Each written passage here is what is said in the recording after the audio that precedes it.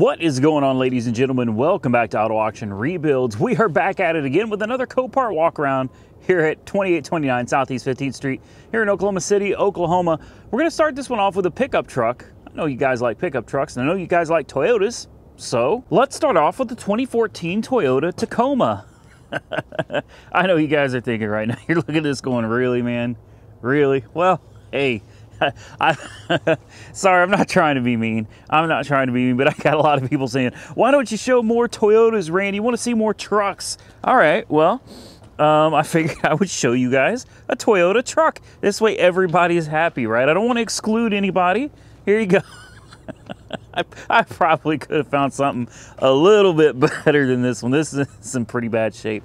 Um, hey, forgive me. I'm just trying to make sure everybody gets what they want. Man, the reason why I don't show so many trucks or show or show so many Toyotas is uh, I just I personally am not all that interested in them. I, am really not. Trucks sell too dang high. I'll tell you what, the inside was very clean though. Look at this. Trucks out here sell too high. This is truck country, man.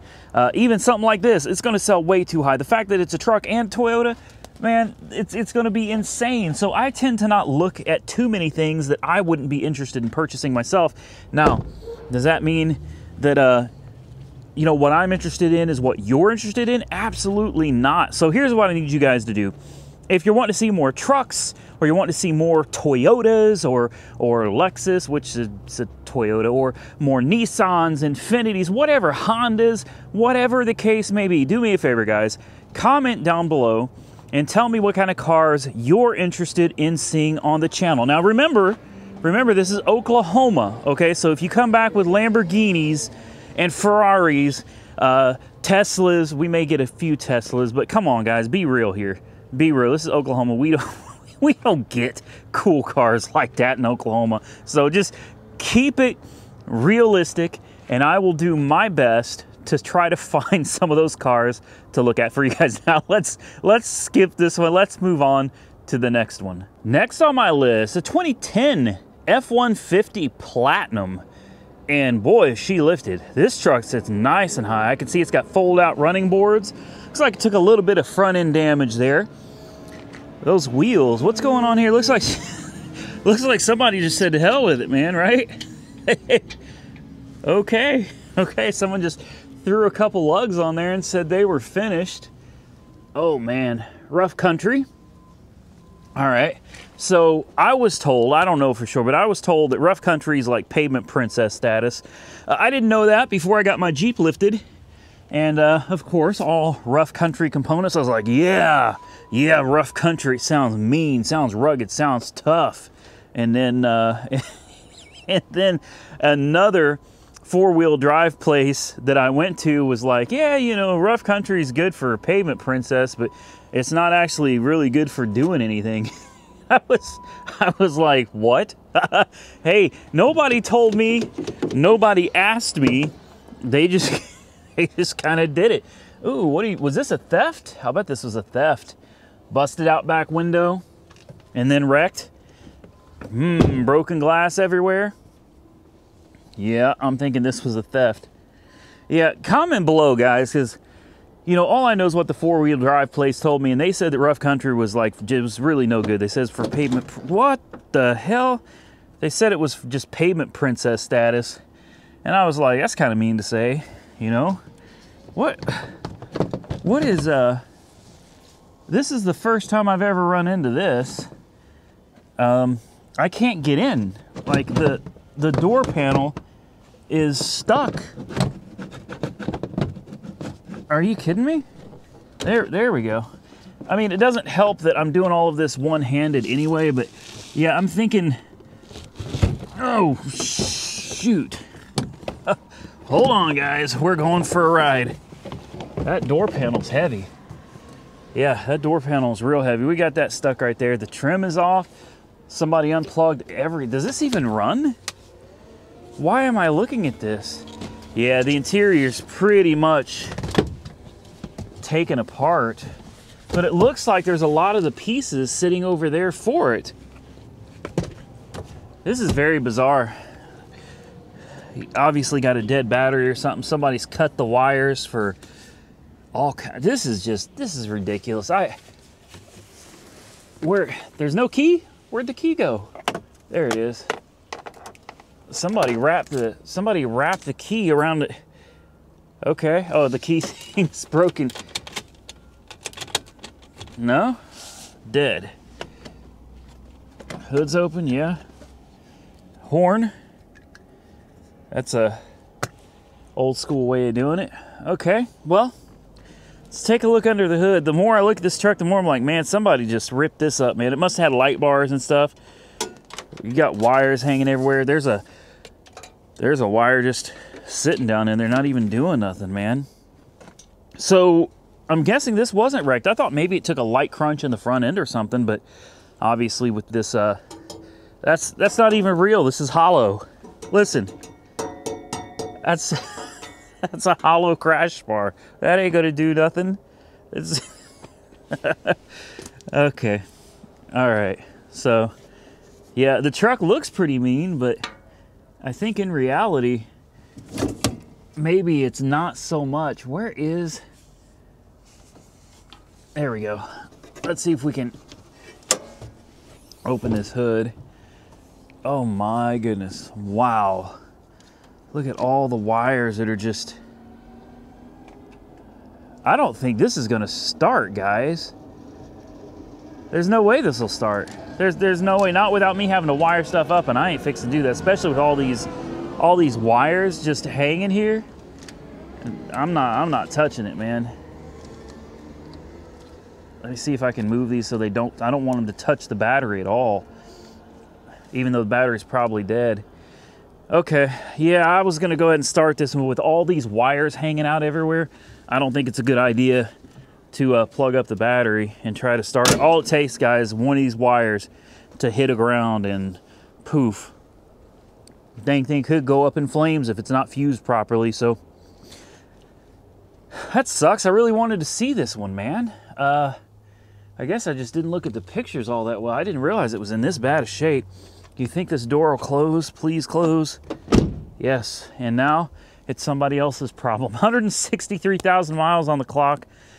Uh, this poor thing just looks, it looks rough. Rough country.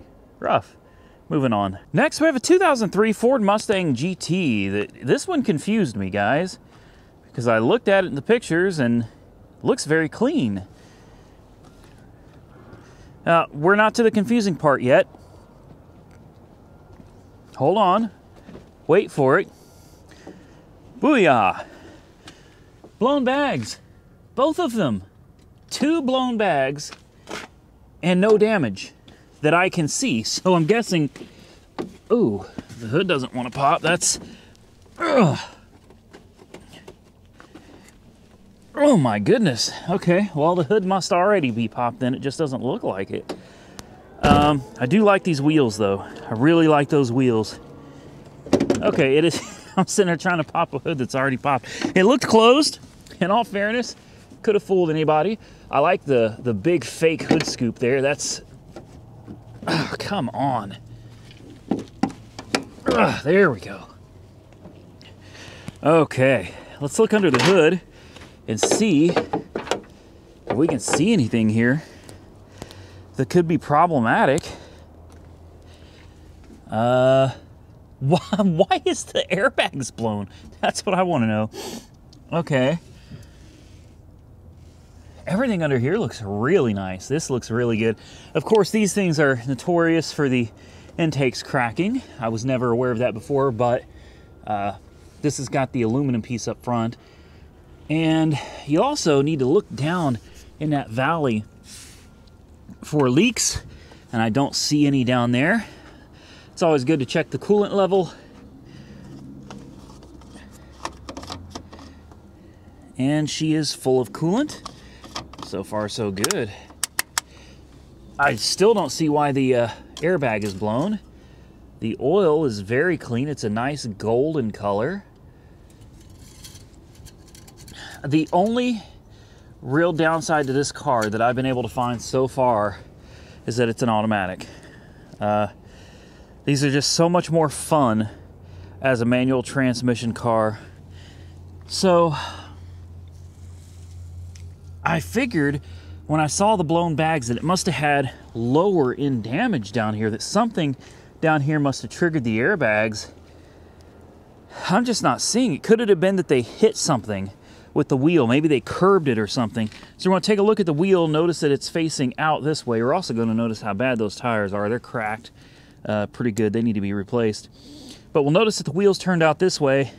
I don't see any damage to the outside of the wheel or to the tire. But it's certain, oh, oh, it was this side. It was this side. Oh, yes, yes, yes, yes, right here. Look at that.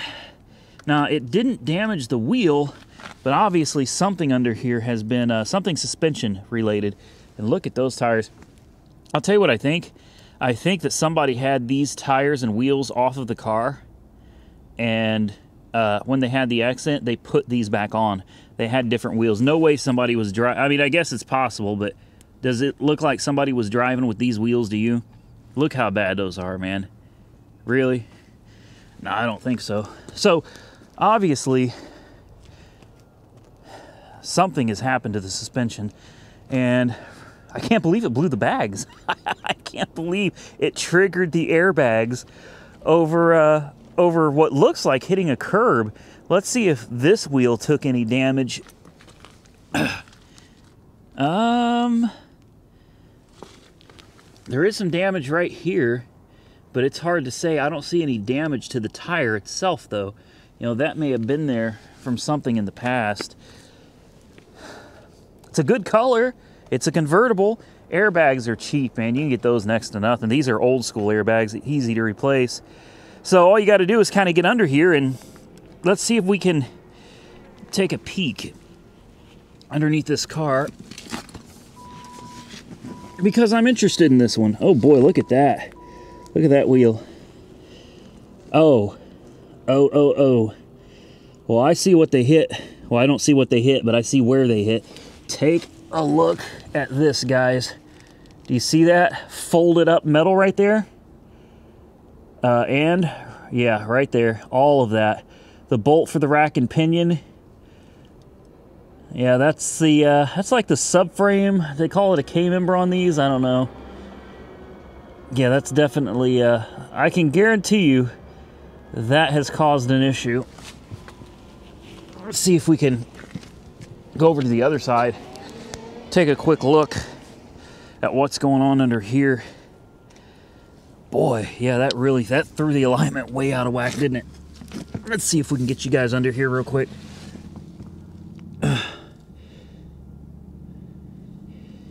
Well, now I understand. Whatever they hit, they hit that hard to fold up that metal like that, man. That's uh, that's thick metal, guys. Yeah. She is damaged. I don't see anything under here. It looks too bad, though. Now, you know how I tell you guys to come out here and check these cars out for yourself? Well, this is why. This is exactly why.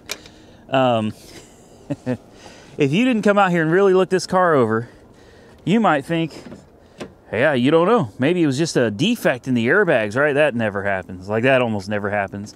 Uh, if you didn't come out here and take a look at this car for yourself and climb underneath it, you may have bought this thinking you're good to go, you know? Not the case. This car, this car needs help.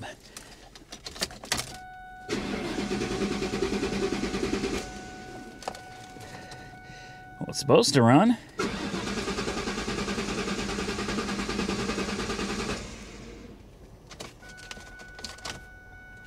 It said it ran.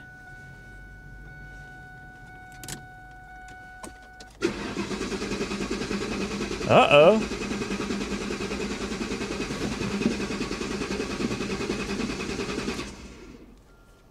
Huh. Okay.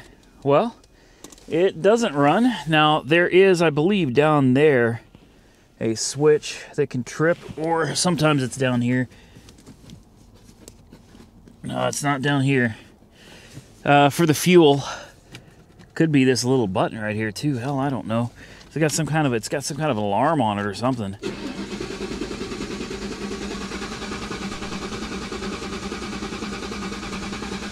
All right, well, I'll tell you what, I ain't got time to sit here and play with it. Uh, as I said, I was interested in it. Now that I've seen the, uh, the undercarriage, uh, not so much. Not so much. And the fact that it doesn't run when I come out here and try to start it up, you know, again, just uh, this is one of those cars screaming, stay away. Next, this looked a lot better in pictures. I'm not gonna lie. There's a reason I'm looking at this Sentra. This is an SER. I believe this is a 2006, or maybe not. Yeah, it says it doesn't run. This should run. Okay, anyway, this is a, I'm assuming some kind of storm damage. It was listed as damage to the roof. As you can see, the back window is gone. You can also see there was an impact point right here. That to me is not that bad. You could still get glass in there. So I, I was like, okay, I'll take a look at it. It is an SER. You don't see these so much anymore. Ooh. Okay, mmm, yeah. And that right there, that and that, yeah, that just kills it. That just kills it, man. well, I mean, the door is replaceable, but this pillar right here, the C pillar is just totally damaged. The rear quarter is damaged. Uh, you might be able to fix that and replace the door and you'd be good to go. But then you got roof damage. It's got hail dings all over it, which is something I didn't see in the pictures. Lots of dings here. You got damage to the A pillar. You got damage to the fender. There's pretty deep gouges in the hood as well. It needs a windshield. So at this point, like the, the door's gone into the fender here. It's just one of those things where when you come out here and you really look at it, pictures are only going to show you so much detail, guys. Like you just, you got to come out here and you got to look at this stuff for yourself and make an informed decision. What is going on there, man? How, come on, stay in there. Hopefully that thing don't fall out and hit me. That looks like it might hurt. I mean, I'll put the key in it. We'll see what it does. It, it, as far as I'm concerned, this is good for parts, and that's it. Someone took the they took their shift knob off of it. they were like, "You're not getting my shift knob, man." Let's take a peek under the hood, see what she's looking like under there. Yeah, I think this may have been one of them cars you just kind of rode hard, and put away wet. You know what I mean? Oh, not bad. It looks pretty clean under here. Somebody's been into the engine. I don't even know what the miles are on this. I think I missed the miles, but somebody's been into the timing chain. You can see it's got uh, silicon all over here. So somebody's been into the motor for something. I don't see why it would. This this should run, guys. It's listed as a non-runner. I'll bet this runs. Let's put a jump on it. I just want to hear it. All right. Let's see if she does anything. Oh, I don't even see any power in here. She ain't gonna do nothing. Uh-uh. Ooh. Wow.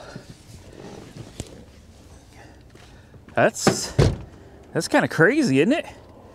Like, why wouldn't it? Uh, could be a bad ground. Could move your ground. Uh, move your ground over here. No. Nothing. Well, it's not the booster pack. That I can promise you. So here's what we're going to do. We're to turn the booster pack off. We're to try this another way. All right. There's a lot of corrosion on that battery terminal. So you can always come over to the alternator and you can always jump it from this post on the alternator right here. All right. You just got to find you a good ground, which conveniently is on the alternator as well. Just snap it right to this bracket right here snap it to the positive over there and uh, see if she does anything.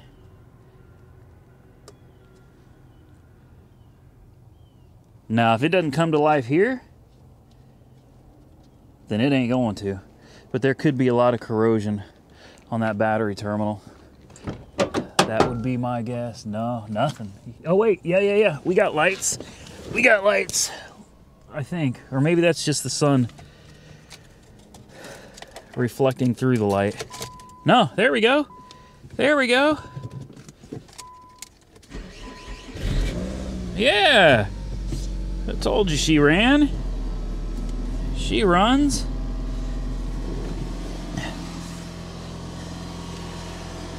Like I've said it before, guys. Turn this off. And remove this from the engine bay here. Get it out of the way. So we don't have any uh, any problems. Yeah, I've said this before, man. You just got to come out here and you got to check this stuff out for yourself. Look, Copart goes through, I don't know how many cars they're going through now, man. They're super busy here, but they'll put a jump pack on the battery. And if it starts, it's a runner. If it doesn't, it's dead and they move on. They got they go through like 600 plus cars a week in the sale in Oklahoma City. So if they put a jump on it, it doesn't run, they're not going to sit here and try to figure out what's wrong and what they need to do. It's these cars are all moved on down the line, man. So it does pay to come out here. And look, all you had to do was jump it from right here. There you go. You can see there's a lot of corrosion on the positive and the negative terminal. Jeez. You clean those terminals and you clean the, uh, the connectors and everything, this thing will probably fire right back up on its own.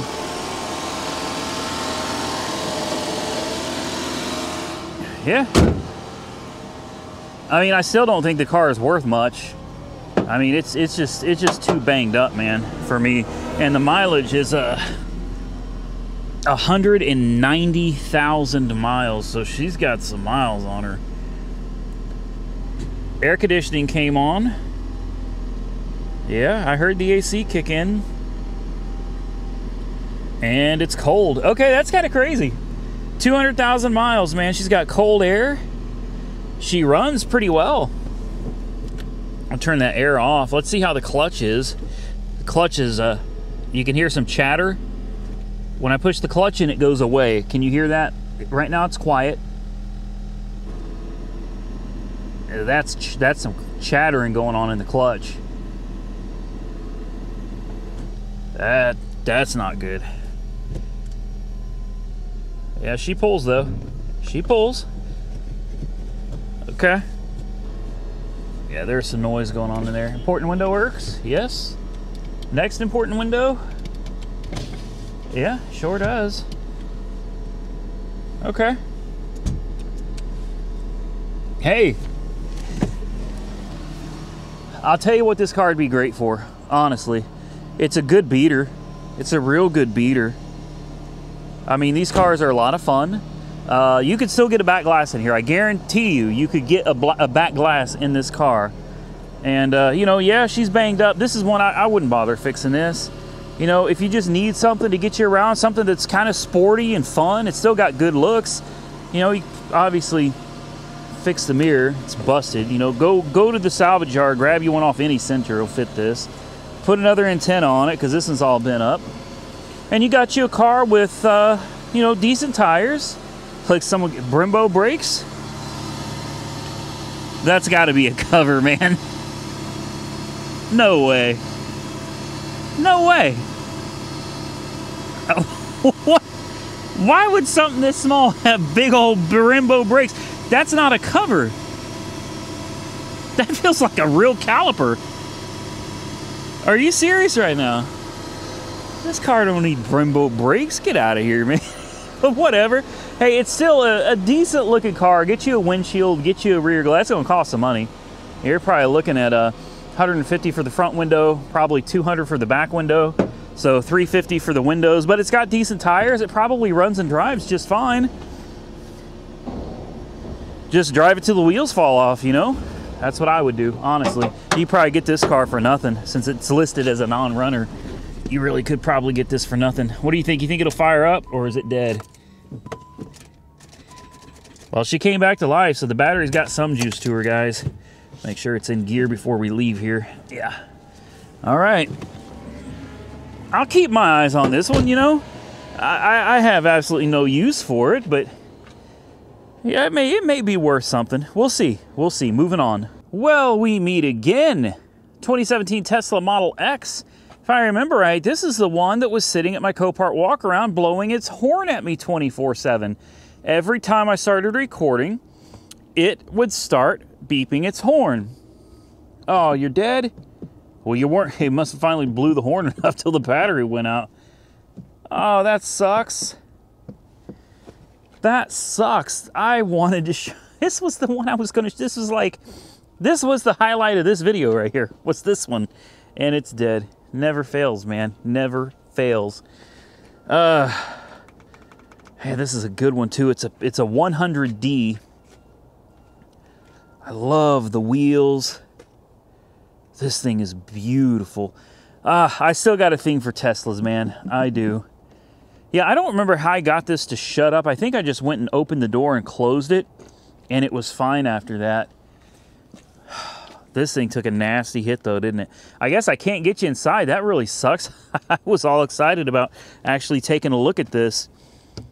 So it looks like this has got a self-driving capability. Yeah, it definitely has self-driving capabilities.